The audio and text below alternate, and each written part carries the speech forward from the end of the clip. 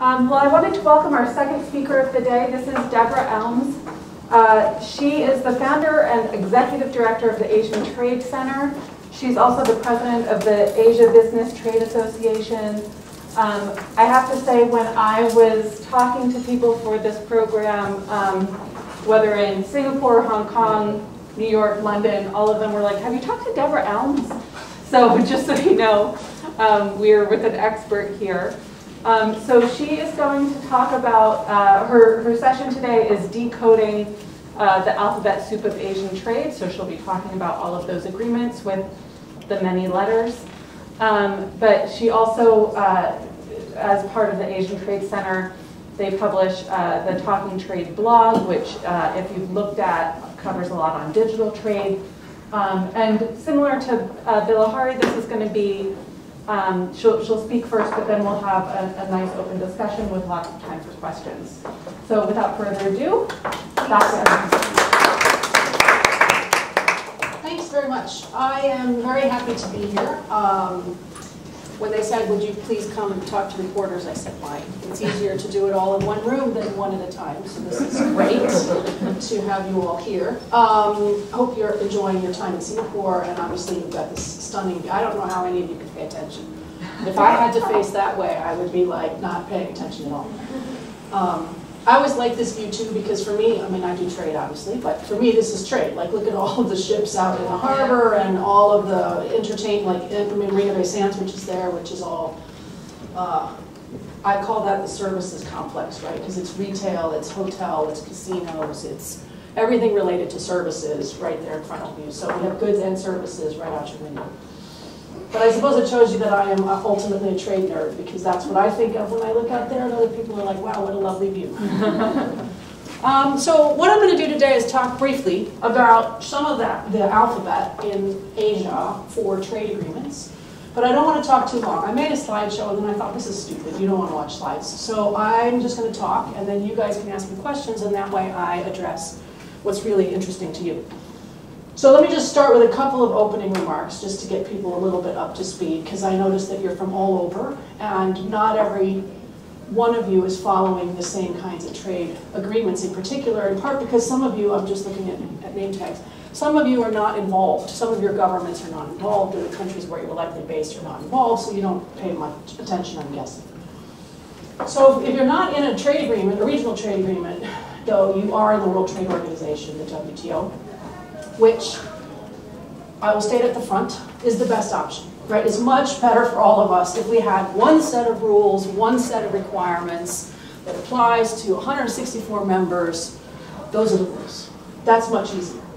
But the WTO has had a rough go of it um, since it, it launched from a previous organization in 1995. The WTO has really struggled. Uh, in all of that time, and I always say, you know, I've had staff that have been born and that have never seen the WTO be successful in their lifetimes. Partly because my staff are young, but partly because that's how long it's been since the WTO really delivered results. So that's a problem.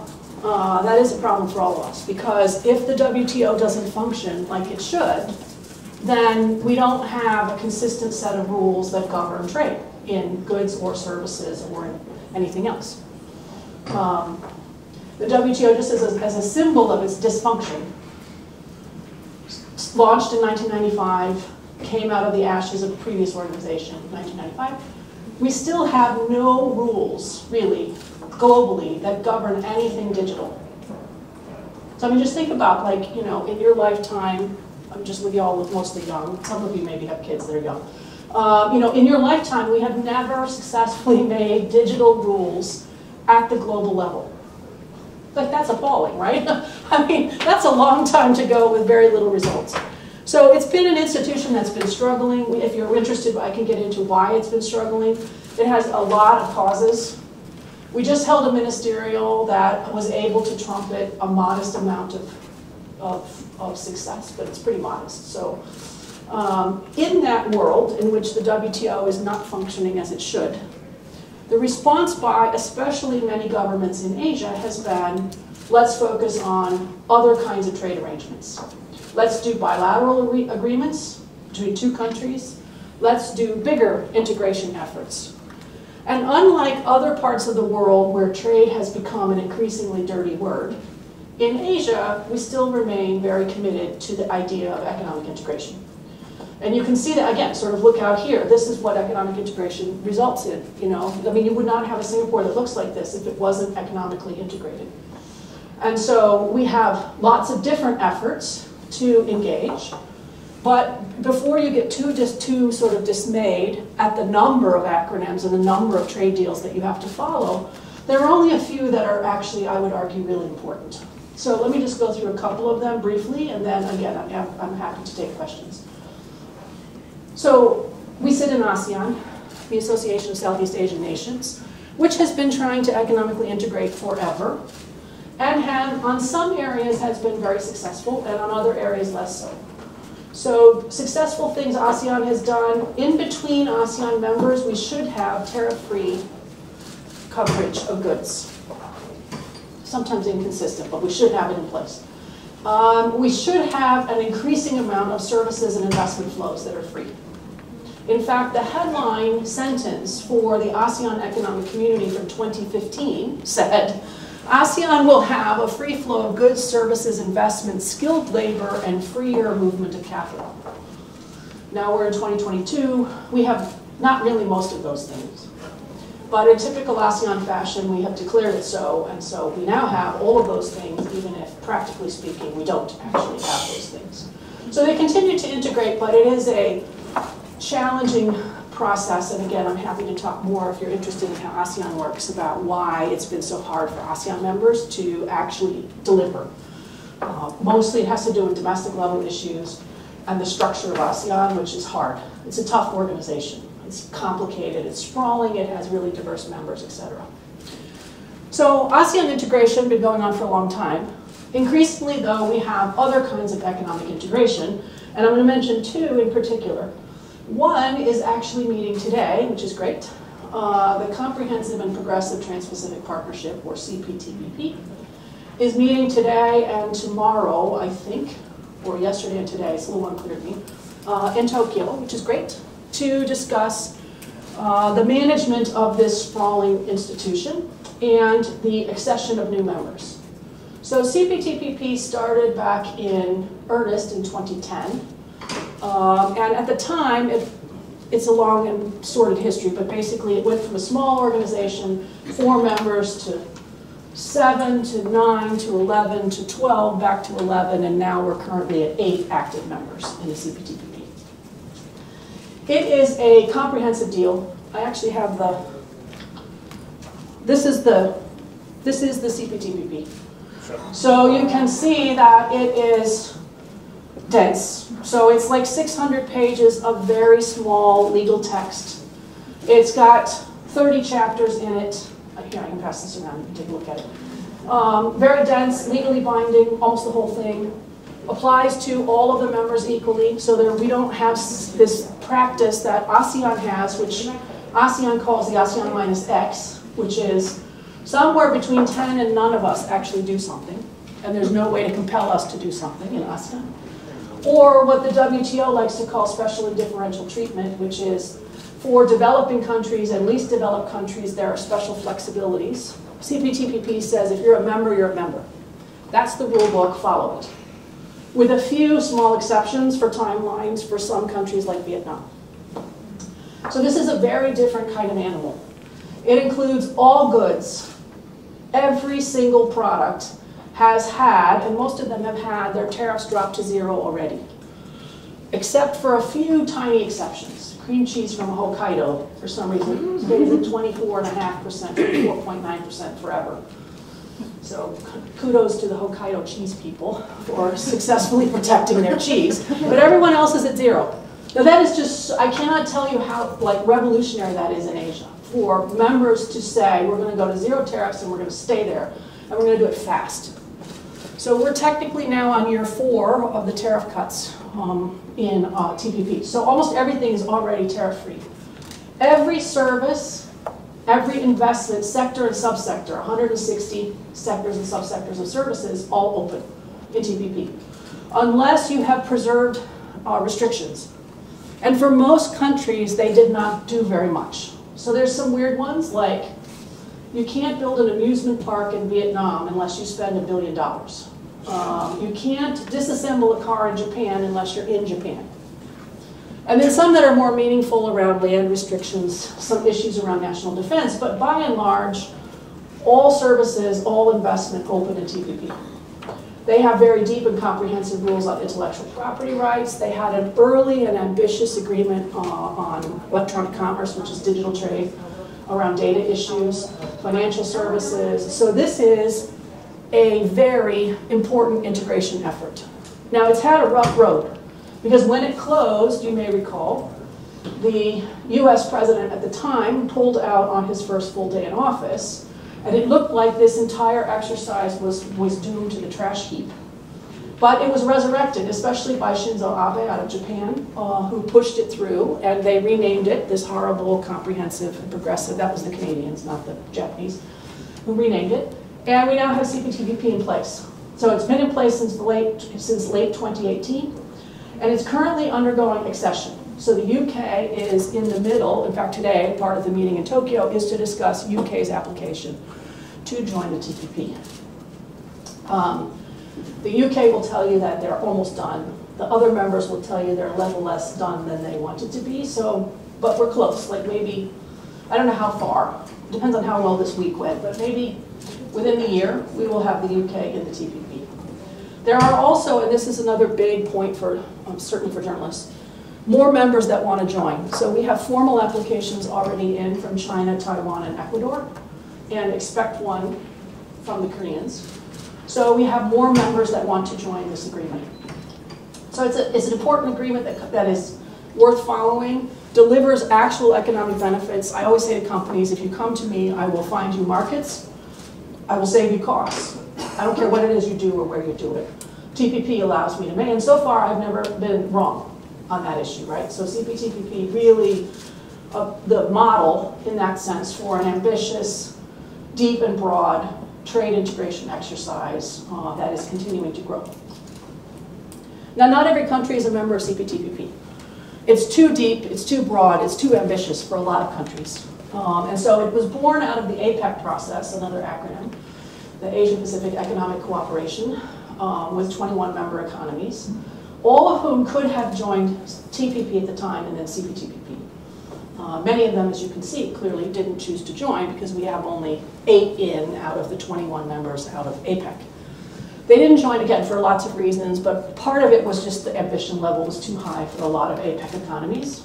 And they did not want to engage in an exercise that was going to be problematic for them. So we only ended up at the end with eight current members. Um, in ASEAN, we have two, so Singapore and Vietnam, plus Japan, Australia, New Zealand. On the other side of the ocean is Peru, which is the latest member, uh, Canada, and Mexico. So we'll see how the CPTPP evolves, but it's a very important agreement um, and continues to be in the headlines, especially as it expands. Because not everybody could be part of CPTPP, but because they wanted to continue economic integration, ASEAN pushed for the expansion of ASEAN's own integration in the region. So ASEAN has what it calls ASEAN plus one agreements. So this is ASEAN China, ASEAN Korea, ASEAN Japan. There's six of them now. Uh, one is with Australia, New Zealand altogether, um, and one that came in, in relatively recently with no fanfare with Hong Kong. So we have six. And the idea behind, behind ASEAN was it's very difficult to use five different agreements. To have them all lined up and then they have different rules around them, even in trade and goods. Uh, different provisions, different coverage. It's really hard to do that. Wouldn't it be great if we could just lay them all out on a table? We could pick up what's in common and bing. We have a huge thing, which was then called the Regional Comprehensive Economic Partnership, or RCEP. Done be fast, it'd be easy. They said three years maximum. It took eight. it took eight years to get RCEP done. Uh, and RCEP came into force for most of the members in January of this year, so it's brand new. It looks like if I were to, we still haven't done it, but we will print out probably at some point the text for RCEP because it would be nice to have it in book form. Um, RCEP looks very much like CPTPP. It's a little shorter. Instead of 600 pages, it's about 500 pages. It has the same thousands of pages of country-specific schedules, goods, services, investment, um, rules around mobility. So there's some very specific things that governments agreed to do. Um, but it is not quite as broad and not quite as deep as CPTPP. So instead of 30 chapters, it has 20. It has a lot more exceptions and a lot more flexibility uh, in RCEP than TPP does. It has less coverage, so not every good is covered. In particular, in RCEP, we have bunches of exceptions in agricultural products. They're always sensitive. We have variation in services coverage and investment coverage. It has an e-commerce chapter that is awful. It has an intellectual property rights chapter, which is great, actually really ambitious, like shockingly ambitious. So it's a, it's a mixed bag, but it's finished, and it's now enforced for 12 countries. So we're still missing three. Uh, Indonesia, Philippines, and Myanmar have not yet ratified. Fingers crossed, end of this year, they, they claim they will get it done. I'm not holding my breath, but we'll see. Um, and then we would have all of them in, uh, all 15 in, and we will continue to see how RCEP evolves. RCEP has very long timelines, like ridiculously long, but I assume some of those will be brought forward and shortened and made more ambitious over time as everybody gets comfortable with the idea of being engaged. Uh, so we'll see what happens with RCEP.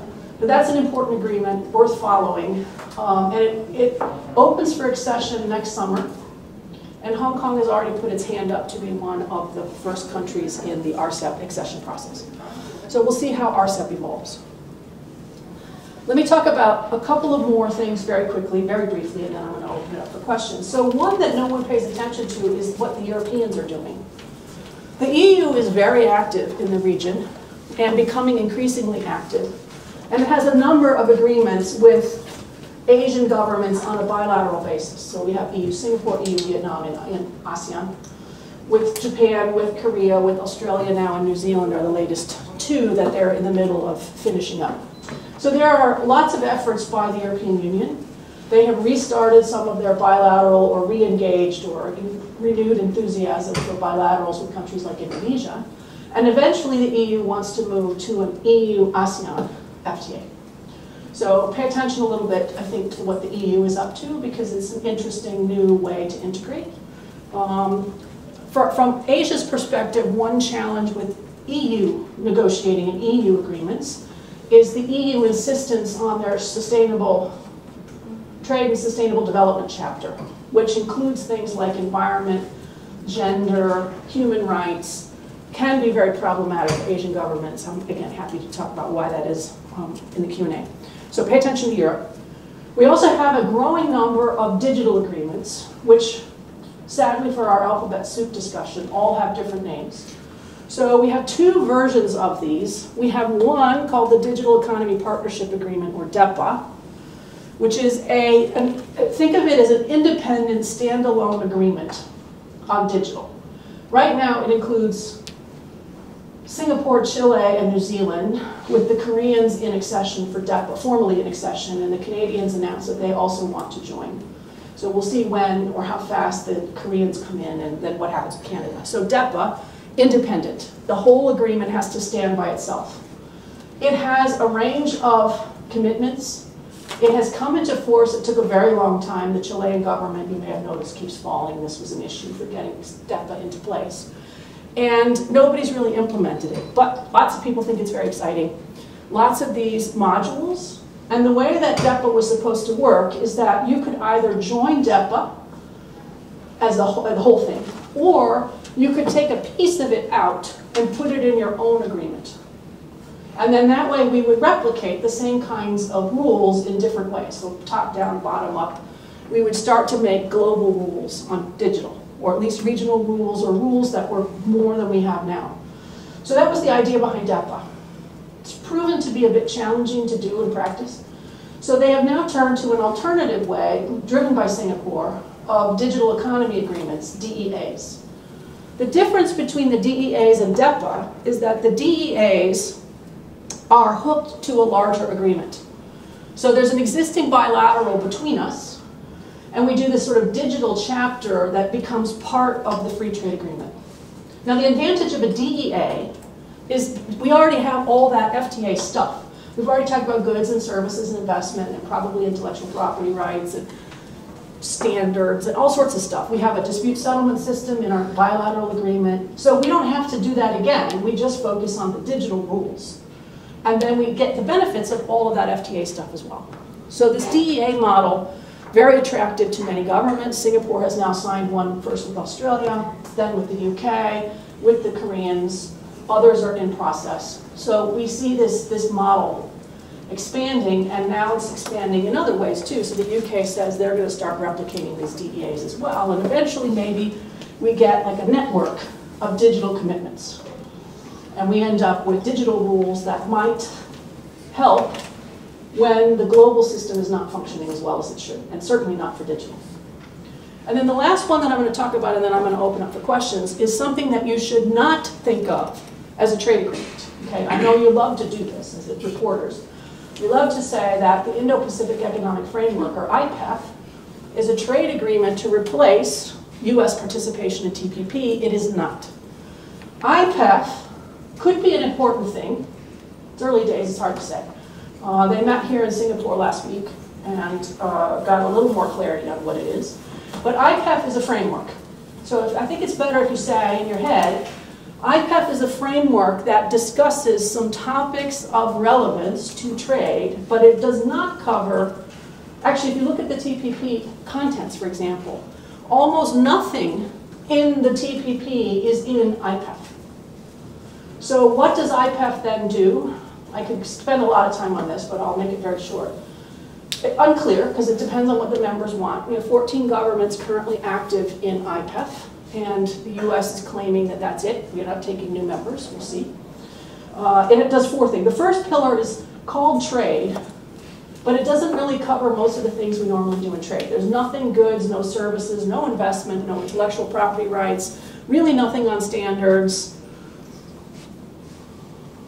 Yeah, there's kind of, it's, it doesn't look like it, nothing trade remedy, like all of the chapters that are in that TPP are not in IPEF.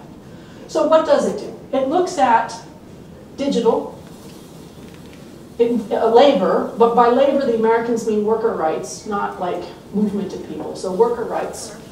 It covers environment, competition. Corruption. That's a separate pillar. So in the trade pillar, it's the gender, indigenous. So there's 10 things now active, but none of them are sort of traditional trade. Again, it doesn't mean that they're not important, but I'm just saying to you, this is not a trade deal, even when it's called trade. Like that, what's in there is not what we typically think of as trade. There are three other pillars that are being driven by the Commerce Department out of the US. Resilient supply chains, still unclear what that will look like. Um, green infrastructure, also not sure exactly what the green infrastructure as opposed to other infrastructure, but green infrastructure. And the fourth pillar that you were mentioning, on tax and anti-corruption. So those are the four pillars of IPEF.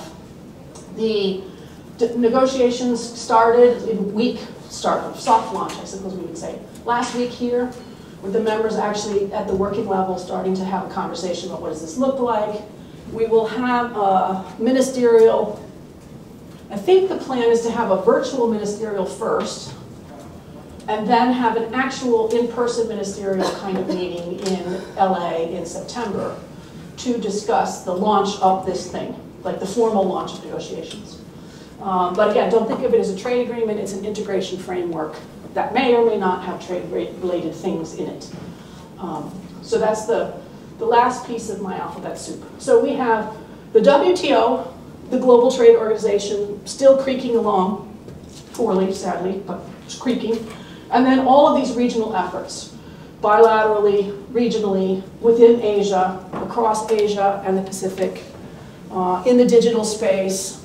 They don't have to be regionally uh, uh, continued anymore, as you can see from UK accession.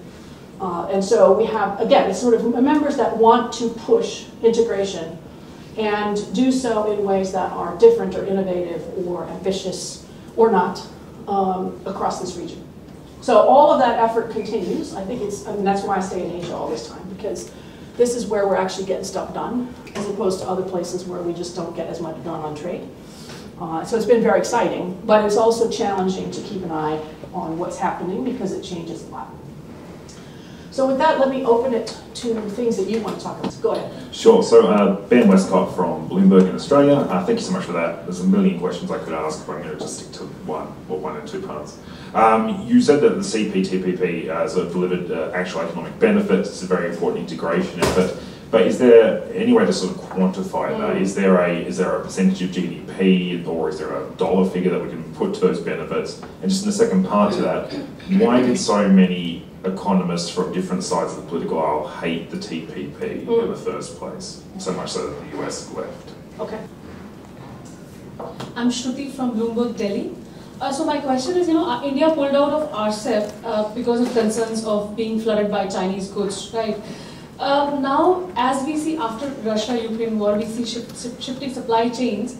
Uh, in hindsight, was it a good decision for India? I mean, uh, and how does it play with the whole integration thing? Because there's diversification happening, and then you're saying that there is integration also happening. And countries are largely saying, you know, locally we should produce and we should, you know, cater to the domestic economy first. So how does it play with the whole integration thing? Mm. My second question is, you know, India, EU signed FTA with Vietnam, and now India and EU are also negotiating an FTA. So uh, the same things would come: sustainability chapter, labor labor issues. Uh, do you think that India can get some le- leeway there uh, when it comes to EU's, uh, you know, high standard on sustainability and issues like gender equality, Mm. labor laws? Is that possible? And how will, you know, insistence on data localization, you know, be a hindrance in India's Mm. whole getting into the digital agreements? Mm, some excellent questions. Okay, so I'm gonna, I have two, so CPTPP and then India in particular. We- I got two more before you, but I'll come. I'll make this as quick as I can. On CPTPP, do we have the numbers? Unfortunately, one of the challenges we've had on numbers for CPTPP has been timing. So it came into force in the very end of 2018. Uh, and then we had, so that was, the first round of tariff cuts was December 30th of 2018. Second round of tariff cuts was January 1st. So we had two, ye- two years of tariff cuts happen in two days. It was kind of a miscalculation by the members. They started earlier than they meant to, and then everyone went, oops, okay, well, whatever. But the point is that we, we didn't have a lot of data pre-COVID. So one of the challenges that we have had around TPP is figuring out what is TPP related, what is COVID disruption and COVID related, and then remember at the time, end of 2018, beginning of 2019, lots of US-China trade war stuff. So there are sort of complications that make pulling the data out challenging because you, what is clearly TPP and what is not, hard to say. It's particularly challenging in TPP because normally when we have a trade agreement, there's a, there's a piece of paper that you need to say at customs, this is what I'm using in order to, to claim the benefits, in this case tariff-free concessions. Um, and so you could count those pieces of paper. And then you would say, oh, this is the number of companies, or this is the amount of trade that, at least in goods, that came through using that agreement. But TPP uses self-certification, so you just declare it. The paper is less, there's no document. So they're not tracking that document, which means it's really hard to see on trade goods.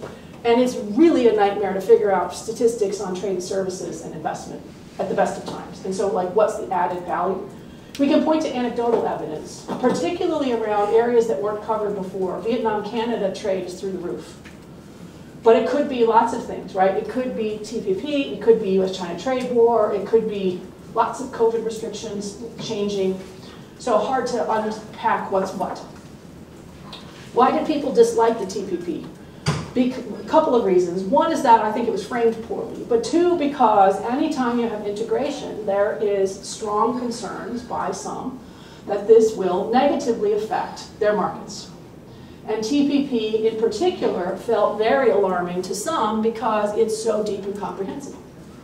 And so, you know, what is the level of competition that our domestic firms will face? Maybe it's going to be too much for us and maybe we will end up being overrun. As it happens, I mean, as much as I like trade agreements, you know, they're very hard to use. And ultimately, companies don't typically follow the rules of the trade agreement like you might imagine. So you might imagine that everybody and their brother would be doing this, but we find, unfortunately, a lot of them don't understand it, don't know about it, can't do it properly, and they leave these benefits on the table. So you could have lots of competition. I think we see less than we should, but that's because of confusion and lack of knowledge and poor planning by companies. Compounded by this time frame. Very hard to get anybody to do something differently under the COVID situation, etc. On India, India's decision to leave RCEP was a disaster. I said so repeatedly at the time. I continue to say so. So India had an agreement with ASEAN, and that's why it was part of the original RCEP calculation. So we had 16 countries negotiating for eight years. They got the deal done. They had this incredible event in Bangkok in which all of the leaders stood up. They did this sort of, you know, handshake. Modi stood up, gave this fiery speech in Hindi in which he said, there is no way in hell we will ever join RCEP. It was in Hindi, nobody knew. So they thought it was a fiery speech that was like how excited India was about joining. And it wasn't until the next day that most of them got the transcripts and went, what the hell, you dropped out? Like, we, we just did this whole thing. Our pictures are 16 of us. This is bad. So yeah, Modi said no. Uh, and the reason that he said no was because of concerns about domestic level uh, competition. In particular, because having gone to all of these RCEP rounds, I can tell you, every Indian group, I don't care what they were, agricultural people, textile people, steel people, whoever they were, they would say, we think RCEP is an awesome idea. Great idea, absolutely India should be in, but not for my sector. so every single sector said, this is awesome, not us. And there was really no one in India that was out in front saying, yeah, we really do need this. We're not going to be competitive. We're very poorly plugged into supply chains. This gives us an opportunity to do that. And so in the end, they pulled out. And I think this is a real missed opportunity. And it's a missed opportunity, I would argue, for two reasons. First, because you've missed that opportunity to integrate with supply chains that I think will be reset in the wake of RCEP. Of course, we already have Asian supply chains. But increasingly now, it is easier to move things in Asia for Asia, rather than in Asia for the US or in Asia for Europe. You'll do it in Asia for Asia. RCEP makes that easier. India just pulled itself out. Why? Uh, so that's one, one challenge. And then the second problem that India could have tackled but chose not to is to use the RCEP process to leverage domestic level reforms that are needed but hard. So I get this question, I used to get this question a lot around Vietnam and TPP, because Vietnam joined TPP, and many people said, wow, are you crazy? This is a country that can't possibly, too ambitious, they're not advanced developing country, like that, wow. Vietnam's government said, we have to make some painful reforms. We know that. Really hard for us to do. So how are we going to do that? Well, one way to do it is to get ourselves into a much bigger deal and say, I would love to protect you. I would love to continue to give you favorable whatever. But unfortunately, all of these people over here are telling me I can't do it anymore. And so, what can I do? Many governments use these trade agreements as the tool to force domestic level reforms. And I think India could have and should have done so, because it def definitely, definitely needs some domestic level reforms. So you could have done that. They did not. I think that's a missed opportunity. That means that India is out of this sort of integration game and will probably stay out. It has an opportunity to come back in, but that's really a non-starter in India right now to talk about RCEP participation. And the more that you have integration take place in supply chains in Asia, the harder it is for Indian firms to participate in those integration efforts. It's just, it's the way that it is. So you can imagine, sometimes I think of these trade agreements as like a club, right? You join the club. You have the benefits of being in the club. You meet with each other regularly. You develop relationships with one another. And if you're doing something similar, but you're not in the club, of course you can do something on your own that replicates what the club does, but it's not the same thing, and it's not the same level of connections that you would get. So, huge missed opportunity for India. Um, but they just have really strong domestic level constraints that make it, they would argue, impossible to do anything else. Hi, uh, Prem from uh, UK. Yes. I'm based in Kuala Lumpur. So I just want to get your thoughts on uh, uh, the the, the design of uh, agreements like CPTPP, uh, when it was TPPA before this, uh, some view it as overstepping boundaries uh, in certain segments of the agreement. For example, like IPs or uh, equality, and that's the main purpose why countries like Malaysia have not ratified the agreement. Uh, you know, they, they are afraid of uh, touching sensitivities of the communities in the country.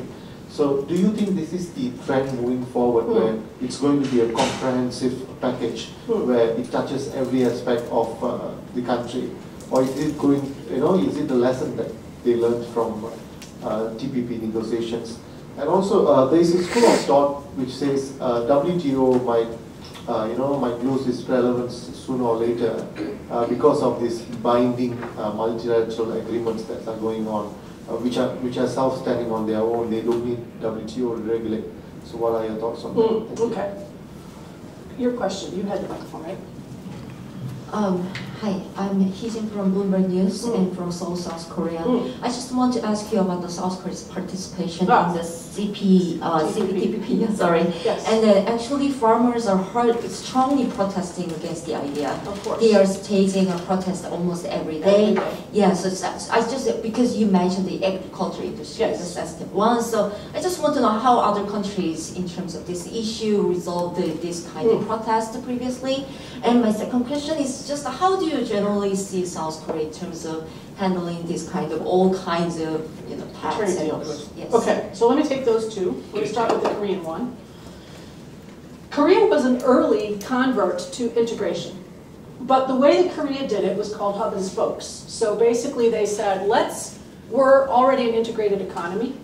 Let's make sure that with our key trading partners, we have bilateral deals that give us the benefits that we think we need. So hub and spokes, with Korea at the center.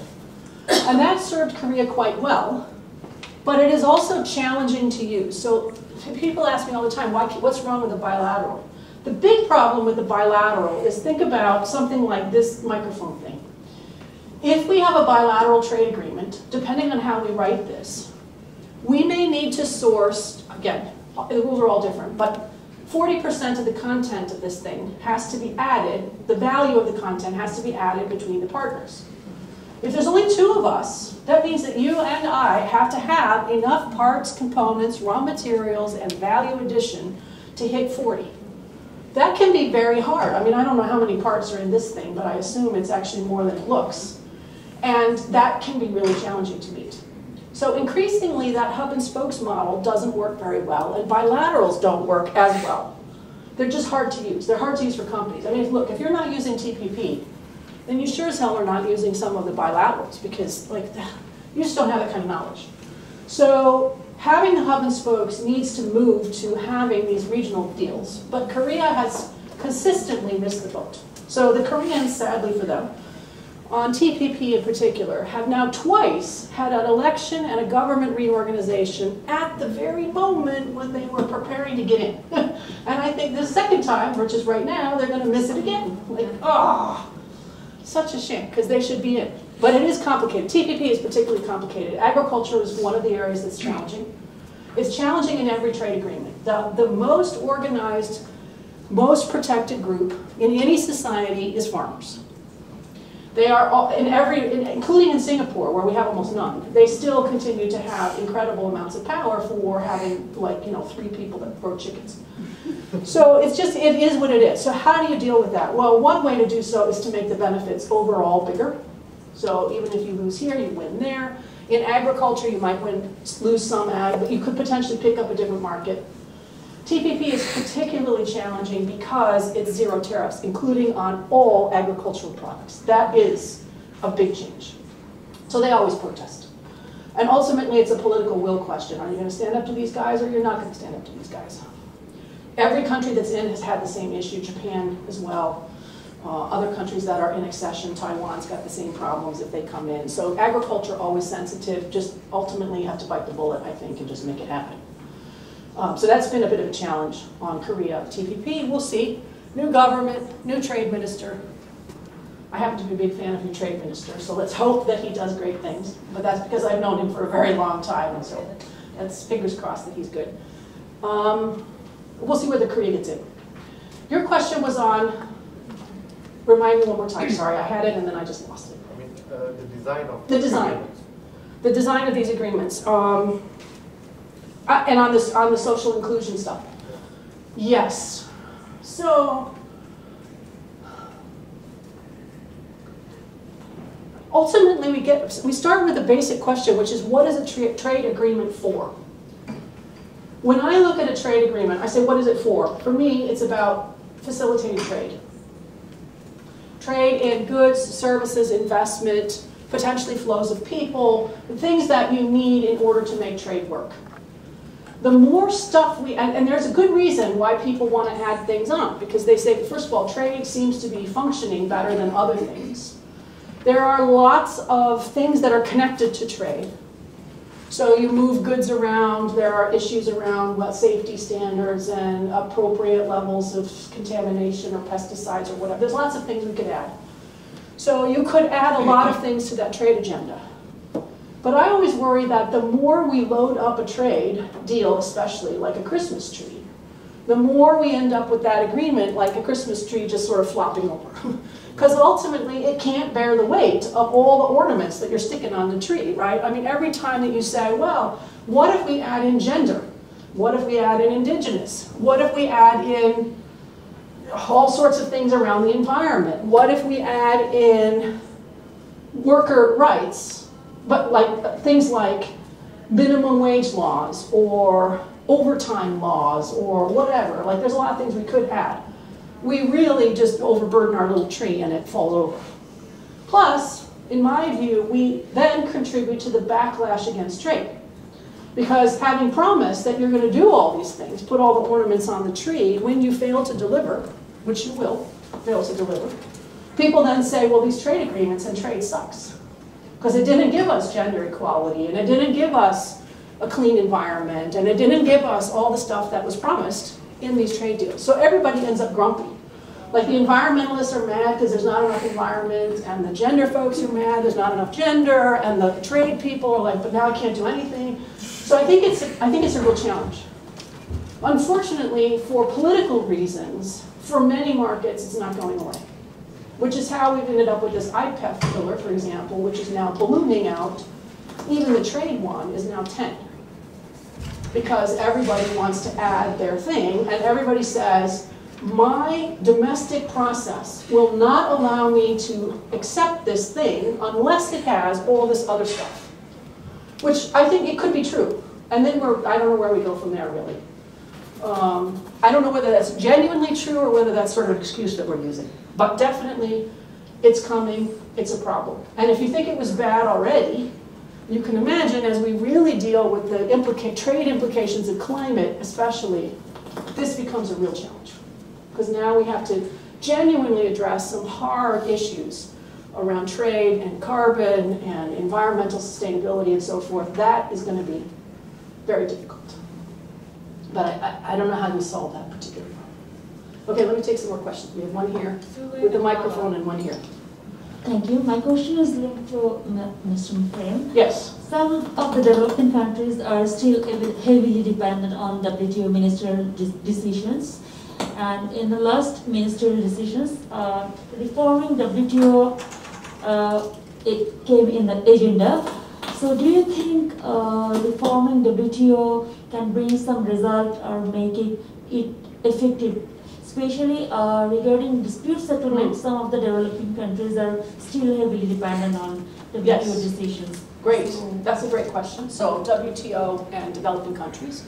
Yes, here. With the current situation, we, we heard yesterday that we're moving away from ultra, ultra globalization. And so is what, what India did with RCEP more reflective of today's trade appetites around mm. the world? And perhaps these multilateral agreements are coming to an end. Or maybe it continues, but countries like China can kiss their application to CPTPP goodbye because we're into friendshoring, we're into friendly relations and alliances. Hmm. Great questions.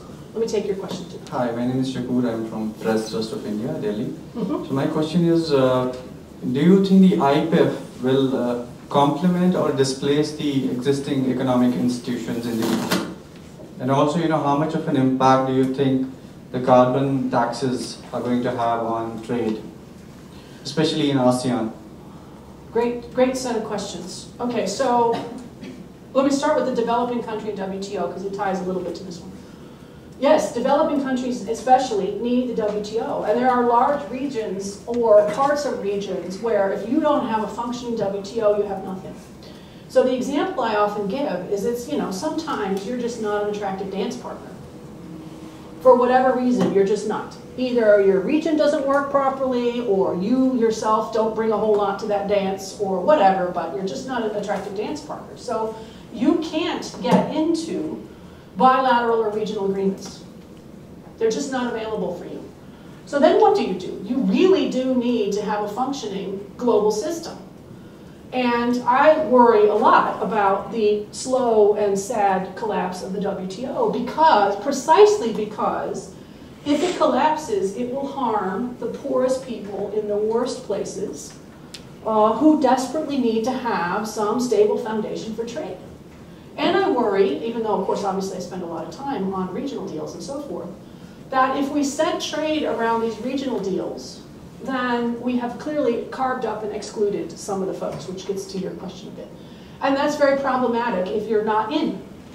Right? As you set up supply chains to take advantage of some of these regional agreements, then if you're not part of those regional agreements, the damage is even bigger. And it's true that you say, well, I have these regional deals, so I don't care. But actually, all of those regional deals are built on top of the WTO's rules. So even with the TPP, 600 pages of rules, that sits on top of or alongside the WTO's rule book. You have to read the two of them together because what the TPP doesn't do is it doesn't repeat WTO commitments. It says that's the floor, that's the foundation, we're going to build on top of that with the TPP. If the foundation is gone, then you're screwed. Now we all have to rebuild the foundation in whatever way we can, shore it up, come up with something. It's a real problem. So we need to have the WTO, particularly for developing countries. I think that's absolutely vital. On the question of globalization, I hear this a lot. Globalization is dead, globalization is in retreat. And I say, have you talked to any companies? You know, if you're a company, it's one thing for journalists or for politicians who love to say, you know, globalization is dead to say so. Or you must follow our policies. You're a whatever country, company in my country, you should follow. Of course, your national interest is our national interest. You should act as if you were whatever. And I think, well, maybe you haven't talked to any companies lately because companies do not generally see themselves as State Department officials. They see themselves as businesses. They need to go out and ultimately, what do they need to, they need to make money. If you're a business and you're doing something for other than business reasons, you're losing money. Now you can do that for a certain amount of time or for a certain period, but ultimately you need to be in business to make money to stay in business. So governments who say so, so sort of, you know, cavalierly, you won't do that because, you know, you just won't because it's not in our national interest, I think really, so what are you going to give them the money that they need in order to make this adjustment? So a, co company might even, in their own mind, say, actually, this is not very helpful for us. We really should change our footprint. We should think about a different investment. On a practical level, it's been very hard. It's expensive. It's difficult to change your supply chain footprint often. And you're facing very high inflation. You're facing global uncertainty. Is this the moment when a company goes, you know what, we're flush with cash, most of them are not, we're going to suddenly restructure because it has been told to us that globalization is dead and that we must emphasize our national interests. I don't think that's true. But I understand the, the seductive nature of the narrative. So I think what we need to do is a better job of asking companies, what are you actually doing? And when you go out and you talk to companies, what are you doing? It turns out most of them are not doing anything. They're thinking about maybe doing something, but they haven't really pulled the trigger to deliver even when situation is getting rockier, it's not rocky enough that most of them say, okay, that's it, we're going to pull out of, except for notable exception, of course, is Russia.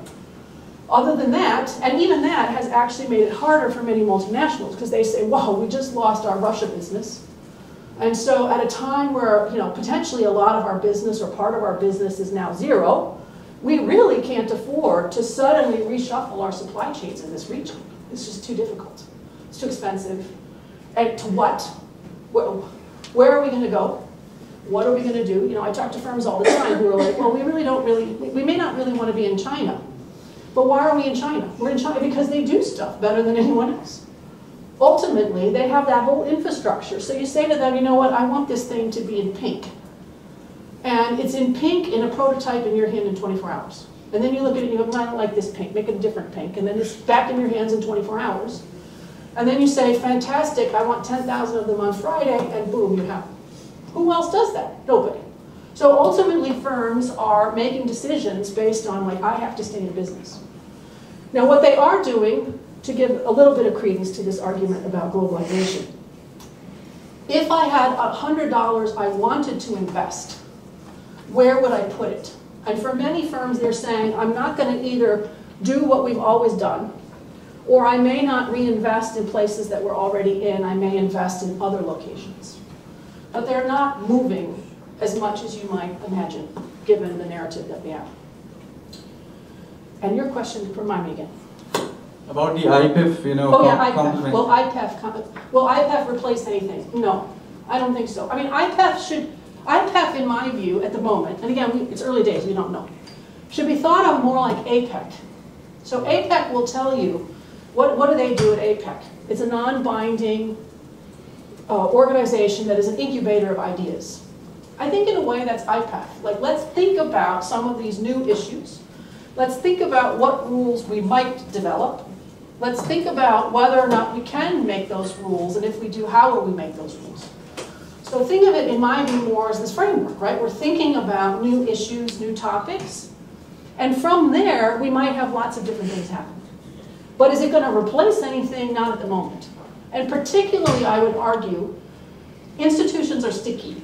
So if I have a trade ministry, my trade ministry is set up how? My trade ministry has a goods team, services team, investment team. It has, so those are the sort of, you know, functional teams, standards, intellectual property rights, whatever. I also have teams by countries or regions. So Europe and Africa and ASEAN and whatever. I'm not going to just suddenly throw all of that out and say, you know, actually now we're going to have a completely different team that does gender, and we're not going to worry about the goods, services, investment stuff. So I think it will be a challenge to do, IPEF in my view is going to be hard, and it's actually going to be hard, not because the topic is necessarily hard, but think about the domestic level coordination that I have to do. If I just think about the trade pillar on IPEF, trade pillar on IPEF, I need to think about digital. Many countries now have a digital economy minister with a digital economy ministry. There are lots of agencies that do digital, my cybersecurity people, my national security people. So just to talk about digital, I have to go out and coordinate with, you know, five or 10 different ministries. If I then add to that something like environment, we don't all have an environment ministry. We may have an agriculture ministry, we may have a, some climate somebody. They all have to be brought in just to deal with environment. Labor, labor rights, that's a whole nother, I don't even know in some countries who you call, but whoever those people are, they're gonna have to be invited to the table. There's a, a thing on um, competition, so now I need to bring in the competition authorities, attorney general's chambers, law ministry, those people have to come. If we're gonna talk about gender, I don't even know who you call in a lot of governments on gender. It's not really handled outside of Canada now, Australia, uh, as a thing. So how do we get somebody together to do, I mean, just the logistics around trying to deal with this 10-part IPEF, I think is gonna be intense. So I do not expect it to replace anything. But again, it could surface some issues that then maybe we pick up and we put somewhere else in a trade deal, or we put in another something. So I'm not suggesting that it's a terrible idea, I just think it's not a trade deal in the way that we think of trade deals. Maybe that's the future.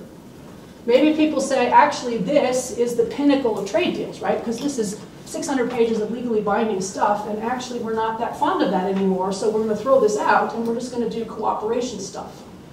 And maybe that's the future. So we're just going to cooperate. And if that's the future, then maybe IPEF is the future. I don't know yet. At the moment, I would say there's too many, in my view, too many vested interests in this kind of thing for it to shift in the near term. But maybe, maybe people get very passionate about alternative approaches. Other questions? I think I have just a minute, right? Hi, I'm Maria from CNBC Indonesia. Hmm. Uh, what is the biggest risk for Indonesia to join in CPTPP? Because our government say that we're not ready because it's too wide and it's too liberal and it's also against our domestic system. Hmm. This is Stella from the Wall Street Journal. Um, I'm curious if you can talk a little bit, uh, a little bit about the export ban um, as more countries use that as a tool to control, uh, you know, either price domestically. Is that a violation of any kind of trade agreement? Okay, I'm gonna start with the last one first. No. And the reason why export bans are not a violation of, of agreement is at the time that they were setting up the original GATT, now the WTO, the idea that you would ban exports was crazy. No, no one in their right mind would ban exports. What you wanted was to export. That's what you were trying to accomplish, was to export more. So the, the idea that someone would think it was a good idea to stop that, stop selling things to someone else and making it at home and generating the revenue from making the thing at home and then selling it to some foreigner was like not going to happen. So there is no rule on export bans. There was a discussion about it early in the CPT, in the TPP negotiations about we should have a chapter on this. And even then, in 2010, people said, why? What do we need that for? That's so bizarre. Of course we're going to continue to export. And it's only now that people are like, wait a second, maybe we should have something that at least makes the rules a little more clear. And part of that has to do with the sort of collapsing norms of how we handle trade, where all kinds of things that you didn't think you were going to see, you see, Including, you know, national security arguments used for, like, you know, banning automobiles. Um, so there is a eroding norm, I think, which is creating this opening for export bans, which we didn't see before. Eventually, if people keep doing it, we would, I assume, people will say, well, let's make some rules on that. Let's at least write down the conditions under which it's acceptable and the conditions under which we don't think it's acceptable. Or have some notification or transparency about it, or let's beef up what we have to make it more clear for export bans. On Indonesia, Indonesia should first get into RCEP, because that's embarrassing, right? You have the ASEAN Secretariat and you haven't actually approved RCEP. So first, RCEP. On TPP, why is it too ambitious? Um, there are a lot of policies that Indonesia is currently running that are counter to CPTPP. It would discipline many of those behaviors. So you cannot have domestic content requirements of all kinds under CPTPP. You can't have domestic content on data, you can't have domestic content on manufacturing, on green, on all sorts of stuff. Uh, unless you have very specific criteria met. So I think for Indonesia, CPTPP would be a tough one. I actually have higher hopes of China getting into CPTPP at the moment than Indonesia. Because I think the Chinese could do it and probably will come into CPTPP. We'll see how this evolves. Uh, compared to Indonesia, which I think, again, headed in the wrong direction, and an election cycle, which is going to be heavily protectionist, because it is every time we have an Indonesian election. So I think that's the wrong direction for Indonesia to join CPTPP, but they could certainly get RCEP done. And if they don't, again, for me, that's embarrassing. You're the ASEAN chair, and they want to put the secretariat, I think, in Jakarta, and you're going to lose that, because why would I put a secretariat in a country that isn't a member? So hopefully Indonesia will get RCEP done, and then it can think about implementing RCEP, because Indonesia's implementation of things is always weak. Focus on that, and then you could potentially move towards CPTPP at some distant point. Um, thank you so much, Dr. Elms, for joining us. I'm happy to answer, if you have any other questions or whatever, you know, always you can reach out. Uh, we have lots of trades, you can imagine, because we run a trade center. Lots of trade stuff on our website and lots of trade on our social media sites as well. So if you're interested, please follow. Thanks. Thank you.